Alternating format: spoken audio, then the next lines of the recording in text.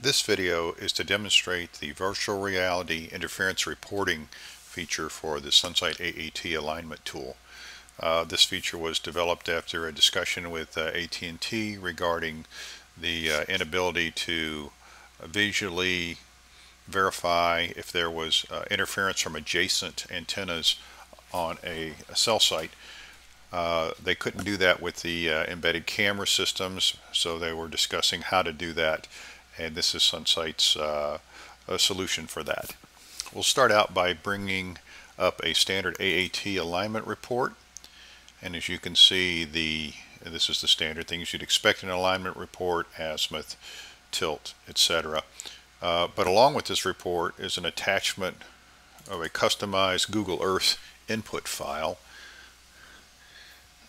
that will show the uh, different alignments in this report for this site actually for two sites in this case, with uh, detail on each of those alignments and how to use them to detect possible interference.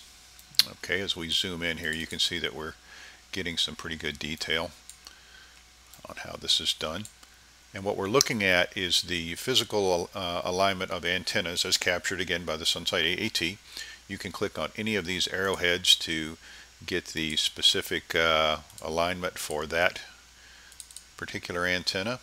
I'll zoom in here and you can click on this one and see that.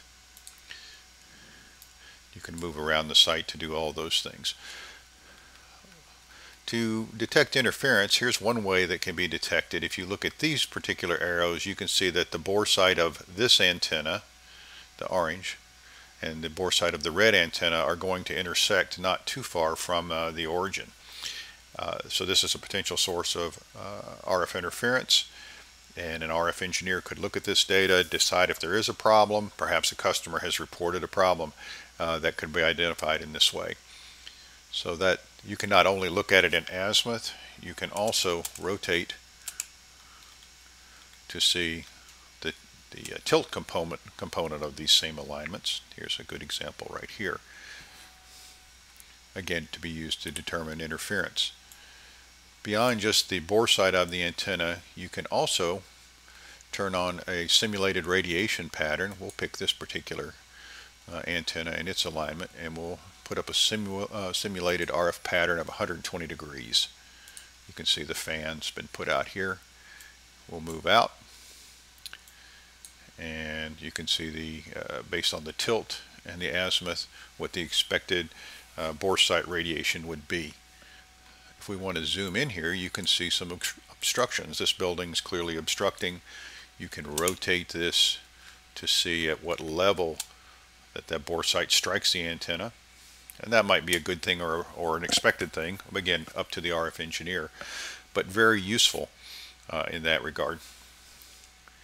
So let's uh, let's go back sort of to the original uh, view. And we'll show you something else that can be used. The over time there's a uh, history function that allows you to use the Google Earth imagery over time. And so happens that where we did this demonstration site the building didn't exist just five or six years ago. So we're going to bring this forward in time. You'll be able to see that the building's actually uh, being constructed. Here's the before when they're doing the excavation. Here the building is in place and then we'll bring it up to current time. The use for that would be uh, to look at uh, perhaps uh, if you're having an obstruction problem or you believe there's an ob obstruction problem, you could pull back the time to see what's changed from the previous imagery to the current imagery. And that'll continue into the future. This same file, as more imagery is collected by Google Earth, this same file from the AAT can be put on there to look at any future changes uh, that might cause problems with the cell coverage. Okay, so we're going to dive in here once more and just show you again how to how you can turn on these various beam uh, simulated uh, RF patterns on the ground with different beam widths. I'll show you a 60 and there's a 90 and there's a 120 which sort of covers the basics basic uh, layout of uh, different different number of sectored sites. So again we think this will be a very useful feature for uh, RF engineers and quality engineers and gives the RF engineer a view not only of what he designed before uh, it was implemented in the field, but the results after it was implemented and uh, as it's actually operating in the field.